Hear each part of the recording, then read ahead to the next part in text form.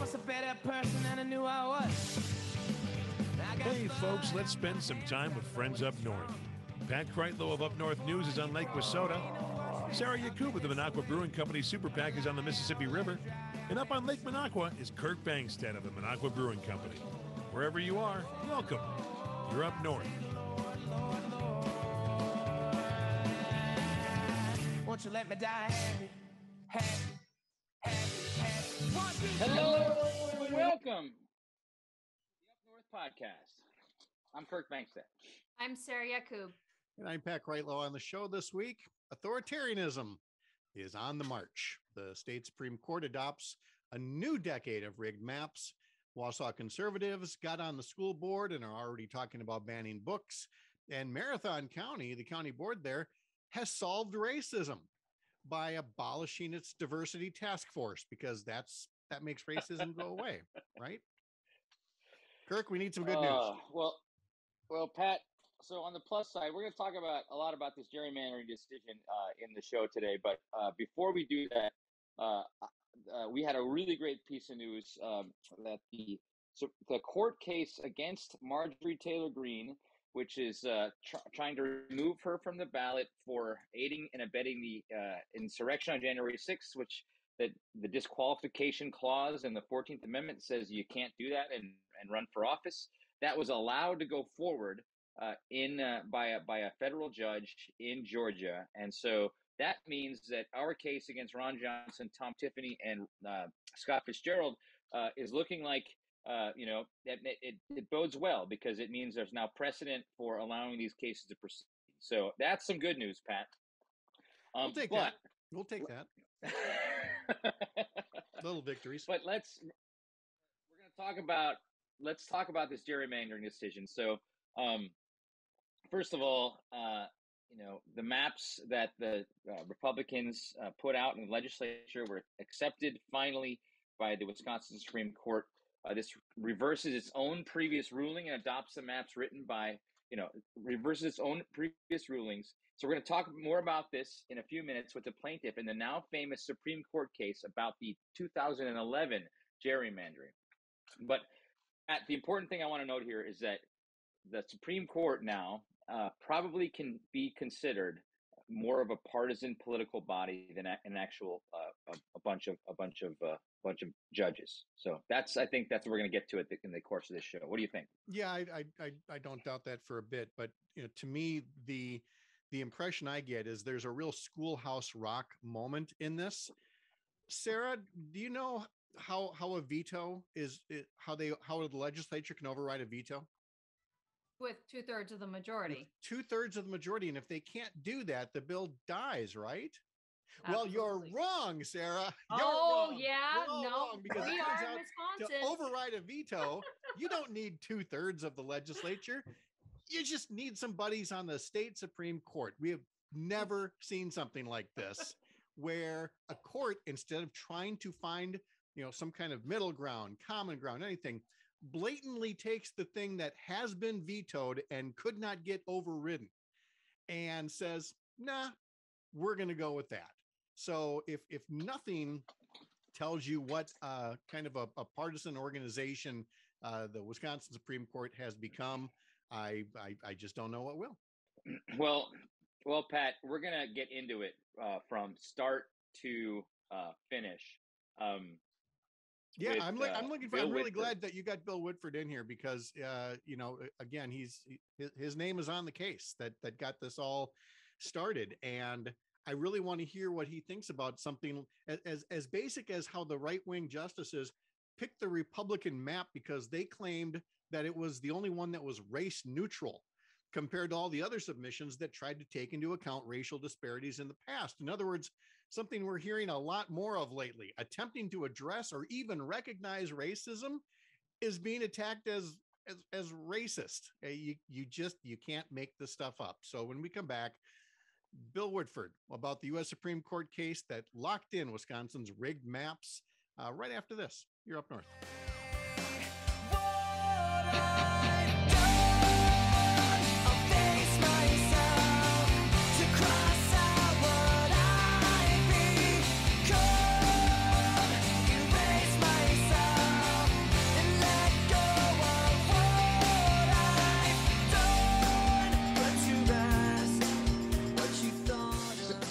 So Welcome I just back. wanted to uh, hold on, Sarah. I just wanted to play that song because it was it's uh, by Linkin Park and it's all about shame and and making terrible mistakes, which I thought was a pretty good intro to uh, to talking about this last uh, uh, decision by the Wisconsin Supreme Court. So take it away, Sarah. Thank you, Kirk, for your uh, stupendous uh, musical selection as always. Uh, welcome back to the Up North podcast. The case Gill v. Whitford isn't well known, which is really a shame because it's the Wisconsin case that showed the true partisan stripes of conservatives on the United States Supreme Court. It is the case that locked in the 2011 rigged maps drawn by Republicans right after they and Scott Walker took control of state government. We are about to talk to the Whitford in Gill v. Whitford. He is Professor Emeritus Bill Whitford, who joined the University of Wisconsin Law School in 1965 and taught a wide range of business law subjects. But he's now known in the legal history books as being part of a group of Wisconsin residents who challenged the GOP's 2011 redistricting plan as an unconstitutional partisan gerrymander. The case showed promise until the conservatives on the Supreme Court went all Sergeant Schultz on us. You know, I see nothing, telling democracy nothing to, to see here at all, Kirk. So Whitford originally won the case, and the ruling was the first time in over three decades that a federal court invalidated a redistricting plan for partisan bias. So this this was great. It got overturned by the Supreme Court. So Bill, can I just we just kind of laid laid the scene, but you've been a part of this fight for fair maps for the last 12 years. So thanks so much for joining us. Appreciate it. Thank you. I'm glad to be here. So, so we just introduced this case. Uh, we talked about it being overturned on appeal. Um, can you take it from there? I want. I mean, you've you've you've lived this history. Uh, you're a law professor. Can you kind of take it from there and tell and lay the scene for all of our listeners on on after you after you guys sued for gerrymandering in 2011 and it was a it was overturned and you won and it was overturned by the US Supreme Court what happened after that let's start with Evers being elected Yeah, the the uh. You know we we hoped, of course, to throw out the 2011 gerrymander. Which I even wrote a op-ed just talking about why Wisconsin was not a legislative democracy, which I really believe. But when Evers got elected in 2018, we had hopes that although we couldn't overturn the 2011 gerrymander, when the 2020 census came in and there was uh, the Evers would be able to veto the next gerrymander and it would go to the courts. The history is that when it goes to the courts, although you may not get, you may get a districting scheme that has some partisan bias. The, the partisan biases of judicially made maps are usually modest and certainly much more modest than the 2011 redistricting. So, what what happened for our listeners out there uh, who aren't living and breathing this stuff? What happened instead when the uh, courts got involved this time around?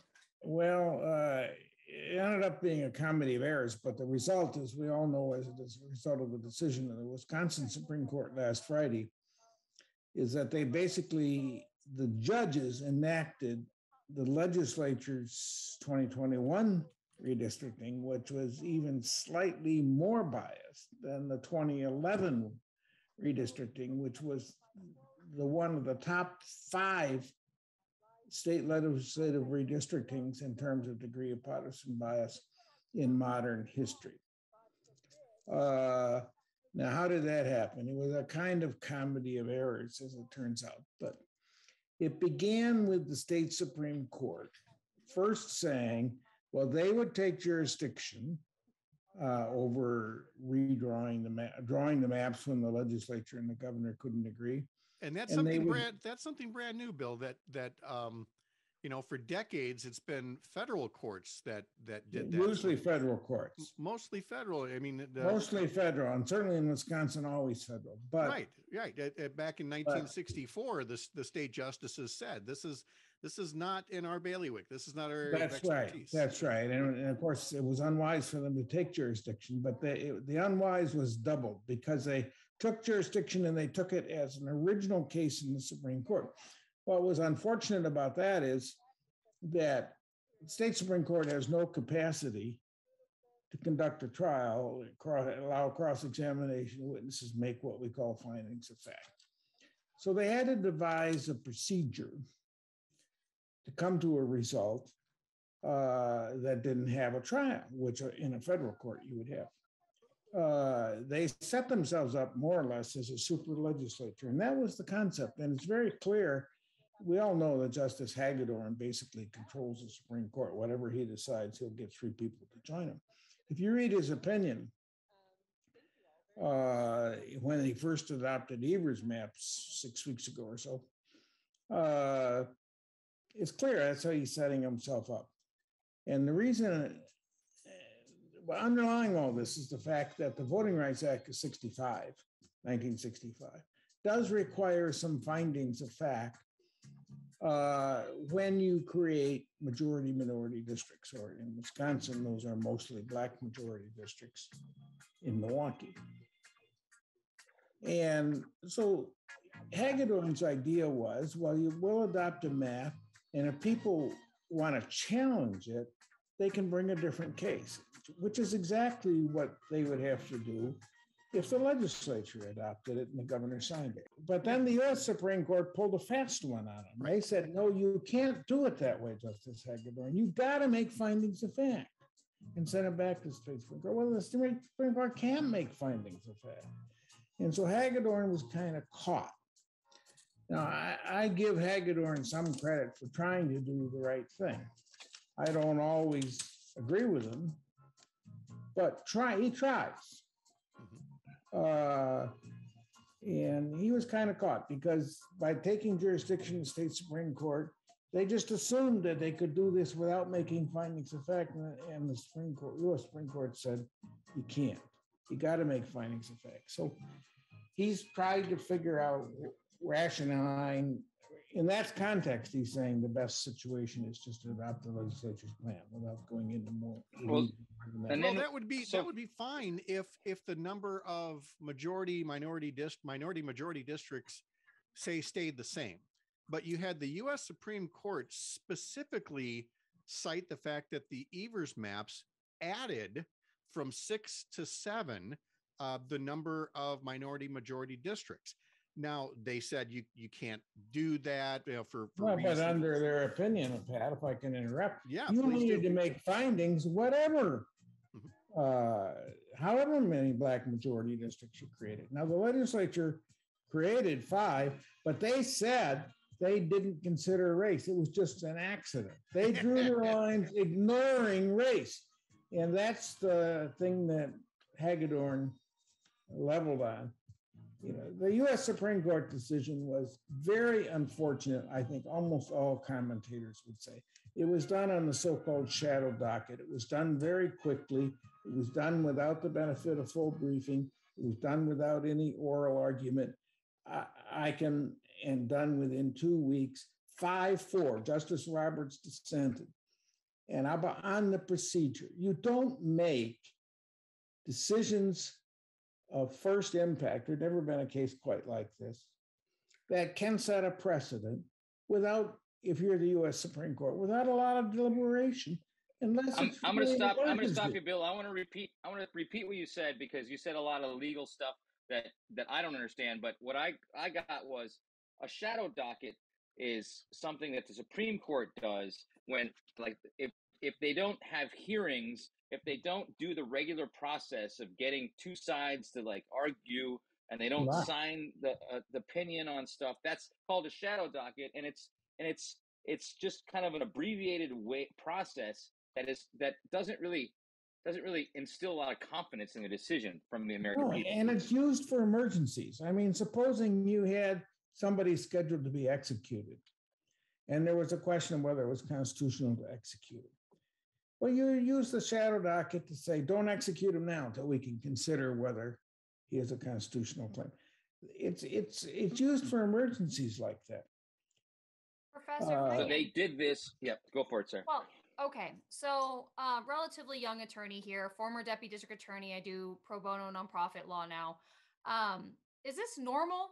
Because I feel like a kid and take your kids out of the room here, but with Santa Claus, you know, I practice law. I love the practice of law, but there was always this sort of good faith underlying that facts and law mattered, that the political nonsense that we see, perhaps with the legislature, didn't necessarily taint our judicial branch. And, you know, for the first time in my adult life, that does not seem to be the case. Has this happened other times in history? Is, you yeah, you're being a little bit, uh, you're being a little idealistic, Sarah, probably more than you really believe. But, Sure. you know, for the US Supreme Court, I mean, it's the highest court in the land and they make a precedent that applies to the whole country. They should be deliberate. So I'm very critical of them, even if you think Hagedorn's scheme about how we were going to come up was a little harebrained. Hey, let his apportionment apply for one election. You can decide the US Supreme Court whether it's appropriate. But there'd never been a case like this in the US Supreme Court. It was done in two weeks without a 5 4. So that I'm very critical of them. But of course, the original sin was the state Supreme Court, as we talked earlier, taking the case and taking it without a trial procedure. What's called So- original. That was the original sin that got him into this trouble. So, Bill, um, you mentioned I, I got two more questions. One is uh, you you mentioned that some of the some of the reasoning, especially with uh, Judge uh, Judge Bradley, went beyond the confines of what you say the canon of law. Uh, Yeah, and I no, want you to explain three that. to me. We talked conservative justices. Those three conservative justices, uh, Roggensack, uh, Ziegler, and especially Rebecca Grassl Bradley. If you read all their elections cases, including this redistricting case and including the Trump challenges to the results in 2021, I mean, their opinions are outside the ordinary canon where you talk about legal precedents and exceptions and legal reasoning, and you're sort of talking to future lawyers. You read those opinions, they're speaking to a crowd, and they're speaking to a crowd of, we'll say, MAGA people or something like that. I mean, in Rebecca Grassl Bradley's concurrence in the decision last Friday, she goes after what Donald Trump would call the mainstream media for how they're reporting on their decisions. I mean, it's not considered unbecoming for a judge to say anything about that, but you certainly don't say anything about that in the middle of an opinion. I think Sarah would agree with me with that. Tho- Those justices are just outside, they're outside, out of bounds. So, I, I I agree with you, um, but you know, it's coming coming from a retired law professor who's been in this for um, you know since 1965. That weighs a lot more than you know a guy that's you know fighting for progressive stuff right now. So, Anybody you- makes a good craft beer deserves a lot of credit. There you go. Thanks, There man. you go. but but let me but let me ask. I mean, you've been doing this since 1965. You've been a law professor in Wisconsin. You've been deeply, you know, you've been you know deeply versed in what's been happening with Wisconsin Supreme Court since since you kind of be, came to the scene from Yale and wherever all the other high high ivory towers you came from. Well, University of can you- Wisconsin, Madison. All right.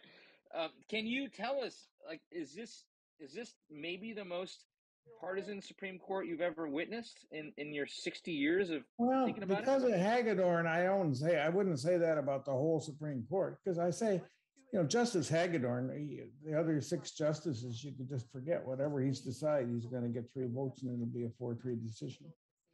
Uh, one you're going to get one the liberals or the conservatives. And Hagedorn, I think, is trying to be a principled justice. I don't always agree with him, but he's trying, and he's writing legal opinions. So I, I so if you take the court as a whole, I don't, I can't agree with you, Kirk, but I will say for those three justices, I mean, they're, they're, they're all women, so I can't call them wild men. Wild women. They're wild women. They, They're they are wild in the it's case not of- just theirs. It's yeah. not just that that opinion. If you like you just said, and I want to I want to uh, underscore this for the audience. If you read some of the other things that they have said in their in their opinions, and frankly in their oral arguments as well, it's very clear that we're dealing with with uh, true politicians on the court, which does not serve us well in in any way shape or form. Uh, Bill Whitford, we really appreciated your your insight, um, your experience on this. Thank you so much for joining us this evening. Thank you for having me. All right. When we come back, we're going to turn our attention to book banning, the kind of thing seen in authoritarian regimes, which is a lot easier to have when voters can't get a fair ballot to choose their leaders. The latest from Wausau after this. You're up north.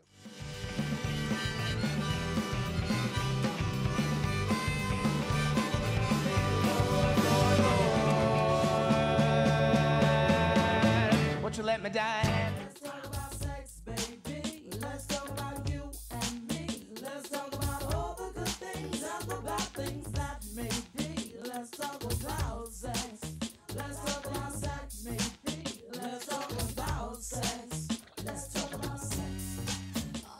Folks, welcome back to the cabin. This is the Up North podcast where I don't pick the songs. I'm Pat Kreitlow along with Sarah Yakub and DJ Kurt Bangstad.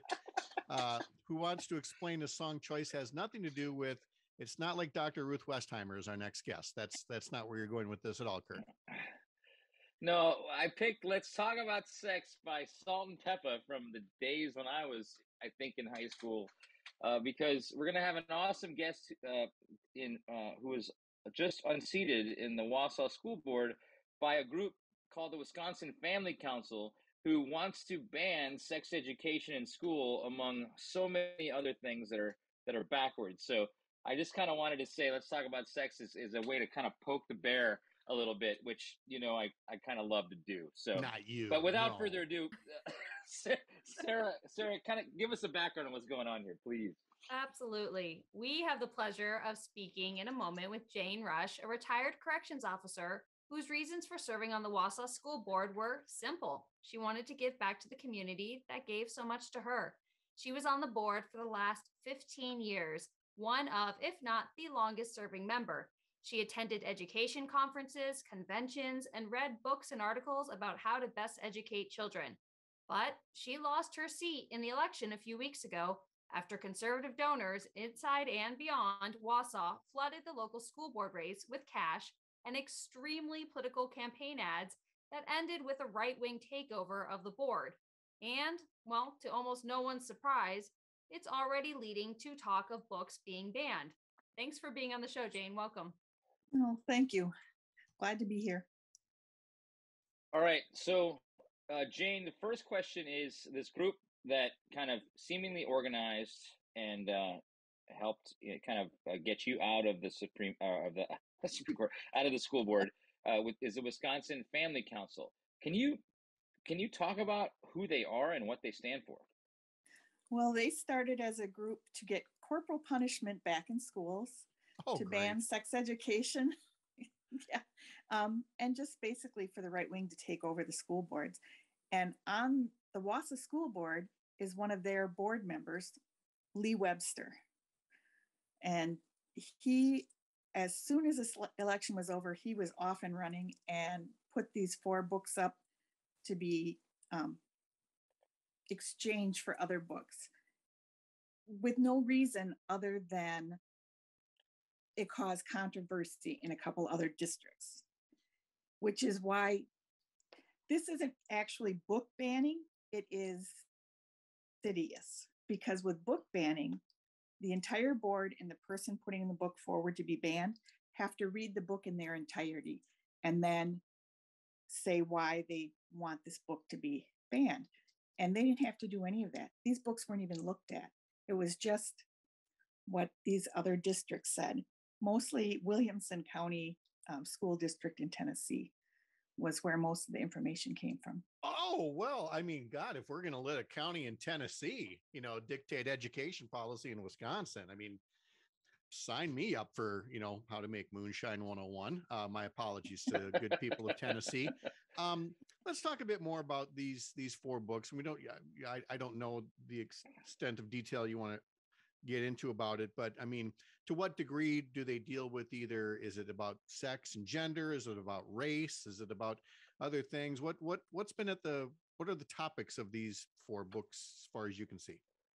Hatchet is mostly because it mentions divorce. And heaven forbid we cannot have kids learn that there's divorce out there in Oh, fourth grade. The other three are more about race and not wanting kids to learn about some of our bad practices we've had in our history. You know, we want to whitewash our history and make it all look glossy and happy. And Lord forbid we um, Wait, let our is kids it- learn So. Jane, you sent me you sent me an article about this. Is one of them like this Martin Luther King picture picture book? that book hasn't been yet. Um, and I think a lot of these are going to go under the radar. The four books um, are all for fourth grade so far are Hatchet, George versus George, which is about the American Revolution and King George and George Washington, seeing the revolution from both sides. And it talks about um, how blacks were treated and we don't like to hear negative things there because if you ignore race, it goes away.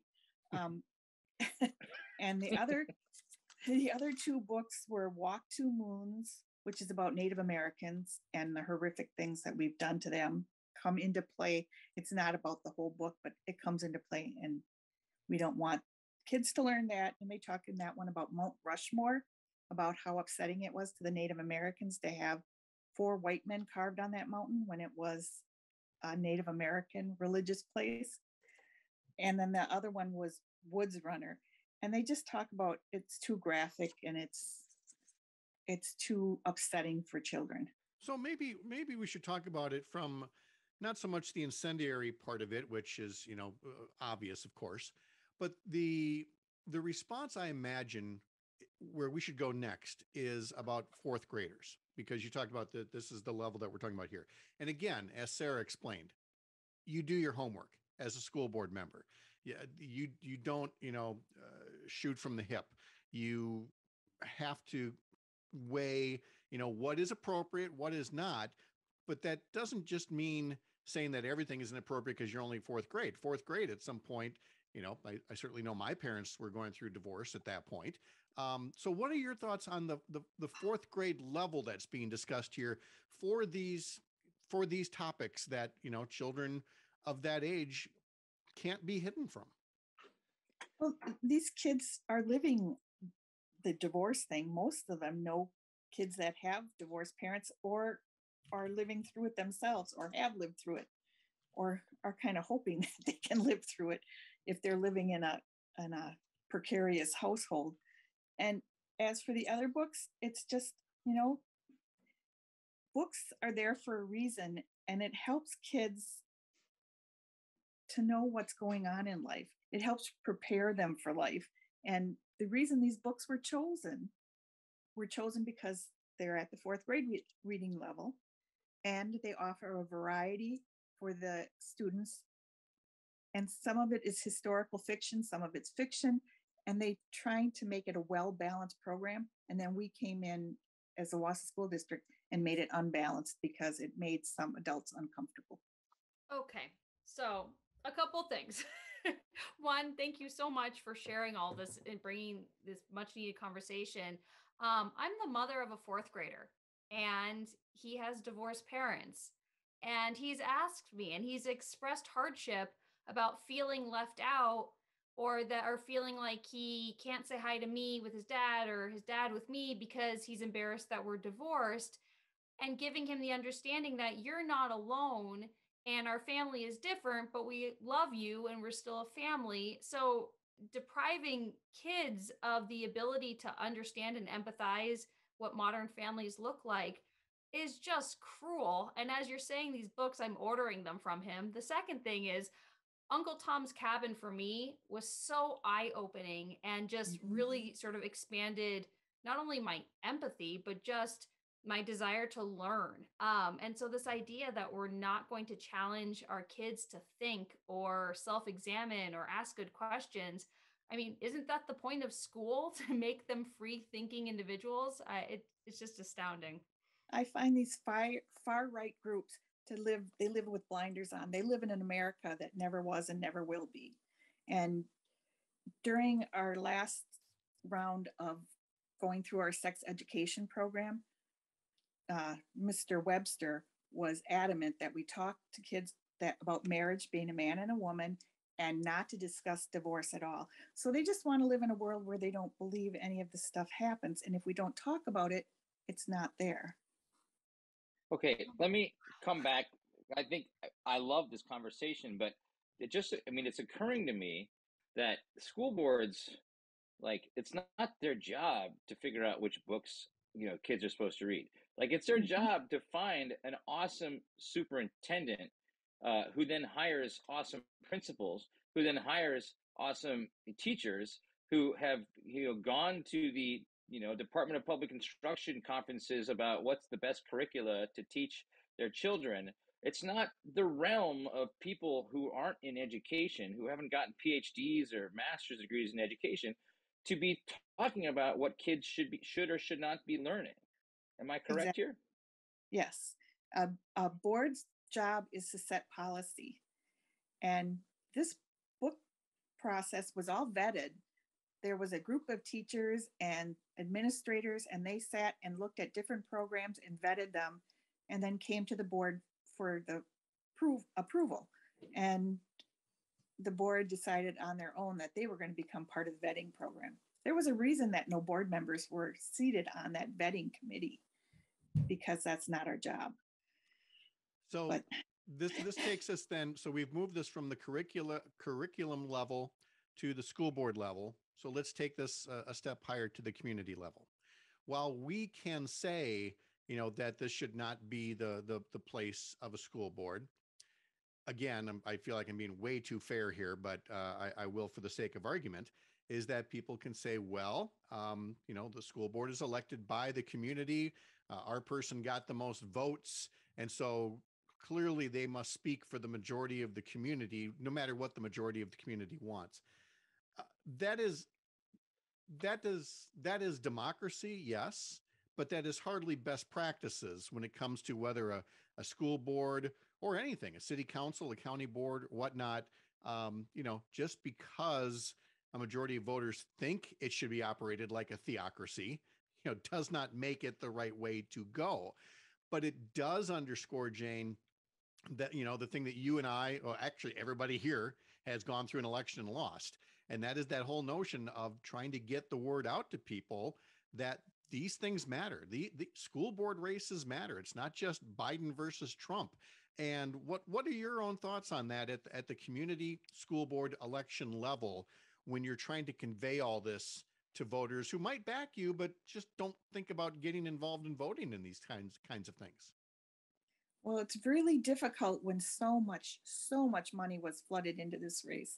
In my first five elections, I probably spent $400 in all of those elections combined. And in this one, I took some um, in kind donations that are going to be about $3,000. And it's just, it's just heartbreaking because they have a radio station here in town that oh, the Oh, host just has called me a- yeah. all kinds of names Mhm. and you know they have access they ran ads and i don't know how to get people to vote hopefully they'll sit back and watch the next year and get out and vote next time i know last Well, this not- year the vote was down in my neighborhood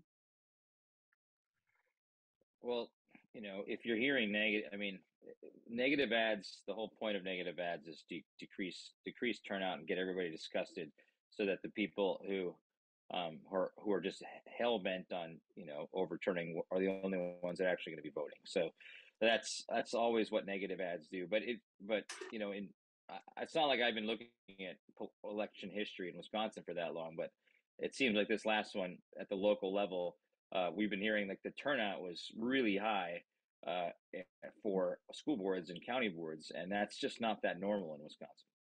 no A- And, but hate is a good motivator Oh, it sure is. And I'll, I'll tell you what, uh, this kind of comes back to something we talked about earlier. And that is the whole reason the state Supreme Court is messed up the way it is, is because a couple of years back, when Brian Hagedorn was on the ballot, he was way behind in the polls, way behind when it was, you know, when it was shown that he was uh, instrumental in starting a school, a private school that actively discriminated against same sex parents. Um, and so he was way behind to the point where voters got cocky, they got confident, they got Mhm. complacent, whatever it is. And Hagedorn squeaked out a narrow victory, as opposed to right now we would have a, a progressive majority on there. So um, you know, it just goes to to again underscore that these things we didn't normally pay attention to so much, state supreme court elections, school board elections, things like that, they do matter. They will matter now from now till, you know, our, our time is gone. They will we are not going back to the sleepy elections that uh that that we once had. So what I wanted to ask you though is we can't wait till the next election. Do you feel like there this is a board now that will be in any way responsive to public comment, either at meetings or otherwise? Absolutely not. They claim they wanted to be open and transparent. This is not a transparent process that they just went through. They claim that they will listen to all voters, and they made it very clear when they were running that they would not. they will listen to the people that voted to them. But that doesn't mean people should stay home and not speak up. You know, they need to of- get out there. well And I have to tell you, I just got a message that Hatchet is being read in one of our parochial schools by the fourth grade. They just started it today. All right, we'll take it. you know, I've often heard better is the enemy of good. And, you know, by no means mm-hmm. is the Democratic Party perfect, but it seems like, you know, among voters, because there's an expectation of something that isn't getting done, or maybe something isn't ideal, we use that to be disheartened and stay home, as opposed to, you know, cutting our losses and, you know, it's never going to be perfect one way or the other, but recognizing we need to get in this game and we need to fight because there is a movement in Wisconsin that is really scary right now. What advice do you have for our listeners to get in there and fight? Get involved. You know, get involved with your local Democratic Party.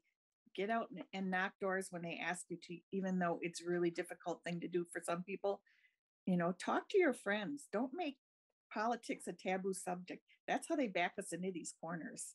It sure is. They they put you on, on defense. People don't want to get involved. They don't want to rock the boat. And the fact of the matter is, if if you don't, these kinds of things happen. Jane Rush, thank you so much. We we loved visiting with you. Wish you all the best, and uh, look forward to talking again soon. Okay, anytime. All right, we'll wrap up the show after this. You're up north. Alabama's got me so upset. Tennessee made me lose my rest. And everybody knows about Mississippi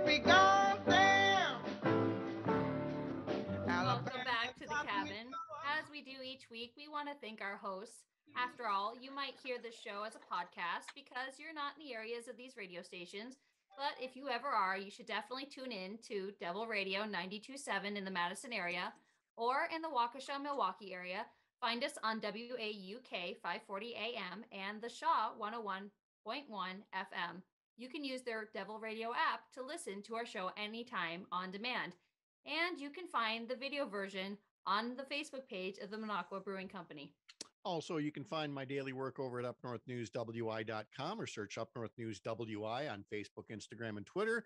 You can catch our new Up North News daily updates on these fine radio stations at 7:30 weekday mornings and 5:30 in the evenings and other times as well. And as if that weren't enough, you two, this week I started doing a daily update on TikTok. Um, I do not dance. Pat. I will never dance, but I do give anyone who wants it a daily dose of three things to know about Wisconsin news in under 60 seconds. So, yeah, the news is moving to TikTok because that's the way the world works. What do you think, Kirk? You want to get on there? Maybe we'll, we'll, we'll No, I, I can't. e- Everyone says I'm too long-winded, Pat. I, I write Facebook posts and people either read them or skim them, but I can't do anything slow, like less long than like a five-minute read. I just can't. My brain doesn't work that way. I can't lay it out. I can't. I can't do the intro. I can't do the middle guts, and I can't do the end without a five-minute read. I just doesn't doesn't work for me, man. That's I- what dancing's for to music. It's TikTok. Now, now wait, you got the fourth grader. You're the one with, with kids at home right now. Is, is TikTok uh, much of a, I, I I'm old dog new tricks, so I'm not the cool mom. I have them on like Khan Academy. Although I I did spring for the Harry Potter puzzle game, which is really fun. If anyone wants a good mindless puzzle, I, I I- I gotta say when I'm when I'm looking at TikTok or when I'm looking at Instagram Reels, um, I I've never felt so old because we had something called parents back in the day who were like, no, you can't watch this channel. No, you can't watch that show. Um, but on on TikTok and and Reels, a- as you shuffle through, I mean, you don't know what you're going to see next, and it's it's an education. So th- this is this is Grandpa here, and uh, having just had my having my fourth grand, I'm now the grandfather of four. Um, I can say this as a grandfather. Don't give your kids a blank check on these things. Know what they're looking at. Look over their shoulder. Take control of the device or what have you, um, because that you're you're doing you're doing them a favor. Um, I wanted to close uh, in, in part kind of the way we began in talking about authoritarianism on the march here. Just to note that uh, we've been following the Marathon County Board for a couple of years now, trying to do the most basic, decent thing in the wake of the George Floyd murder at the hands of Minneapolis police.